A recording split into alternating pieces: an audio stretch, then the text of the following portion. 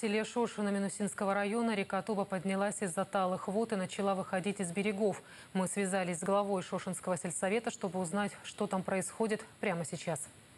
У меня село, с одной стороны жилочка, а с другой стороны у меня протока. Протока пока в норме, все нормально. Это вот центрально, где улица. А что касается жилочки, талая вода стекает, и у меня а, другая сторона села начинает подтапливаться. Но пока угрозы жизни и населению нет. Делаем, чтобы не было дальше так же было хорошо. У меня сегодня было две комиссии, которые смотрели оперативным вопросом. И вот сейчас жду, чтобы меня там прочистили, сделали, чтобы на одном уровне была вода.